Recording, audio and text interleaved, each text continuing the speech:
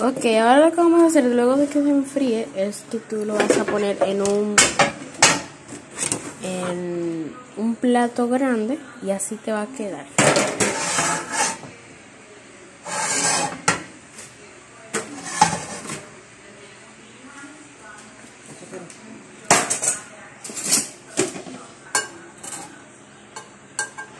Se ve súper bonito.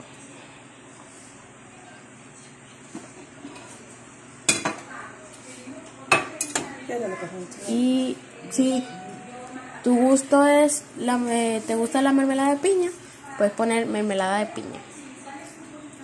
Esta mermelada de piña es casera con las eh, un poco de piña que nos quedó.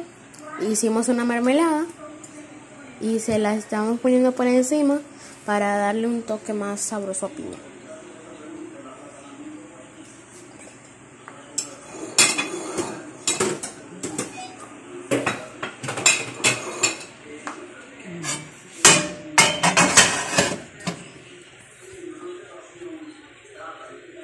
Se ve súper delicioso. Ahora es momento de la verdad. Hay que probar este delicioso postre.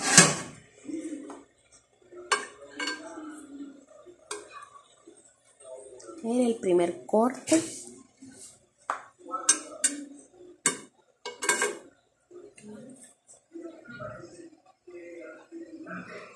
Miren ese bizcocho. Ese bizcocho está esponjoso Mire, está esponjoso y bien elevado. Y se ve súper delicioso.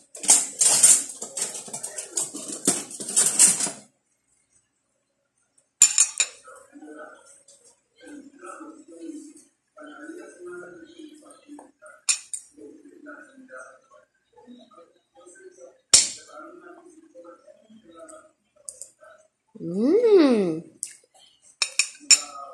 Está buenísimo.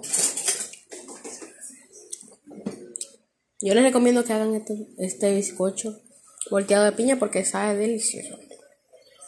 No olviden suscribirse a nuestro canal porque vamos a estar subiendo muchos más videos sobre cocina y otras cosas más. Así que suscríbanse y denle muchos likes.